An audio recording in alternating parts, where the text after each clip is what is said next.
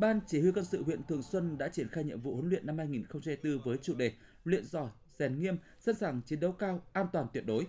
Ban Chỉ huy quân sự huyện Thường Xuân đã phát động đợt thi đua cao điểm với chủ đề kỷ niệm 70 năm chiến thắng Điện Biên Phủ và đợt thi đua đột kích chào mừng Đại hội thi đua quyết thắng lực lượng vũ trang huyện giai đoạn